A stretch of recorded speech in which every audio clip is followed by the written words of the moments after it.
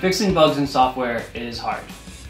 Fixing bugs in software on a robot is especially hard because although there's a computer in there, there's no screen, there's no mouse, and there's no keyboard, and the only way we can talk to it is through a single cable. So to fix a bug, I first think to myself, what exactly should the robot be doing? And then try to determine the exact spot where things are going wrong.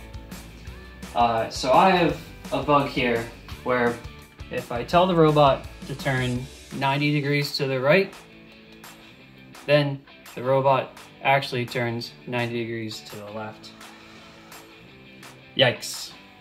Well, I told the robot to print some messages down here of exactly what it's doing or thinks it's doing as a starting point. So it got 90 degrees, that's correct, and then it decided to turn left.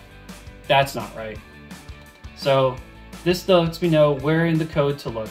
So if I look at that point, I see that we got our 90 degrees, and then we're supposed to say if the number of degrees is greater than zero, turn right, or if the number of degrees is less than zero, turn left. And seeing this out loud right now, I realize where our problem is. We want to say if the number of degrees is greater than zero. All right, so let's try this again.